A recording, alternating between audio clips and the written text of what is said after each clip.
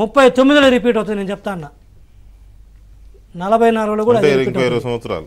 నలభై నాలుగులో కూడా అదే రిపీట్ అవుతుంది. ఏది? జగన్మోహన్ రెడ్డి అనే వ్యక్తి ముఖ్యమంత్రి క్యాండిడేట్ కింద వైఎస్ఆర్సీపీ ఎన్నికలకు వెళ్తే నాకు తెలిసి వారు? ముఖ్యమంత్రి శ్రీమతి భారతి గారు వెళ్ళడానికి అవకాశం ఉంది.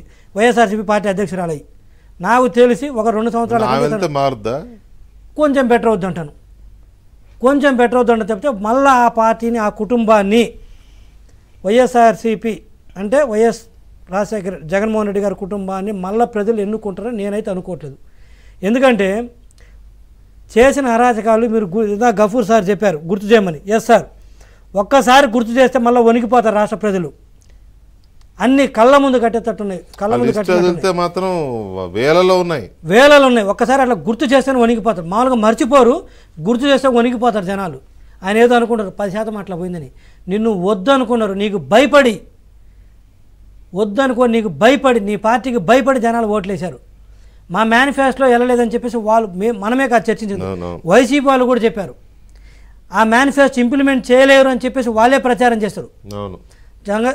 చెప్పారు ఇంత జరిగిన తర్వాత కూడా నీకు పదకొండు సీట్లు ఇచ్చారంటే దాని అర్థం ఏంటి?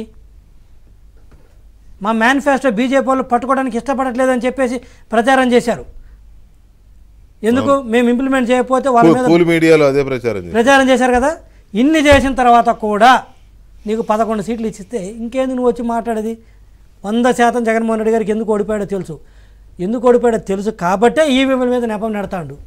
ఎందుకు ఓడిపోయాడో తెలుసు కాబట్టే జనాల మీద నెపం నెడతాడు. నీకు తెలియదా? వంద శాతం తెలుసు కృష్ణ నేను మళ్ళీ చెప్తాను ఈ పార్టీని ఎక్కువ నాకు రెండు సంవత్సరాలు ఈ పార్టీ డ్రైన్ అయిపోతుంది చూడండి. ఎవడు మిగలడు ఇంకా ఒక నెలలో స్టార్ట్ అయిపోద్ది ఒక్కొక్కడు ఒక్కొక్కడు. అది కూడా అది కూడా ఉందిలే వెళ్ళిపోతారు ఎవరు. మిగలరు? గఫూర్ గారిని ఇదే ప్రశ్న జగన్మోహన్ రెడ్డి గారు వ్యతిరేకత వల్ల ఓడిపోలేదు మేము అన్న దాని మీద అడగడానికి ఒకసారి మళ్ళీ ఒకసారి అదే బయట మళ్ళీ ఒకసారి వేద్దాం. దాంట్లో